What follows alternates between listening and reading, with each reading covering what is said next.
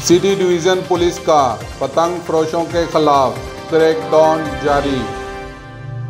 Shahdara town police की कार्रवाई, पतंगों की सप्लाई नाकाम बना दी। दो मुलजम गिरफ़्तार, मुलजम के कब्जे से 250 पतंगे और सतारह केमिकल डोर की चटनियाँ बरामद कर ली गई।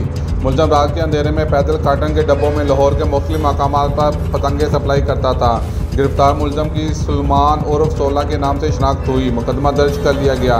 एस पी सी टी की इंसादत पतंग फरोशी के हवाले से कामयाब कार्रवाई पर शादारा टाउन पुलिस की टीम को Shahbaz S H O Shahdara town ने कहा, पतंग फरोशी के मकरू धंधे में मुलवस मुलजमान को गिरफ़्तार किया जा रहा है।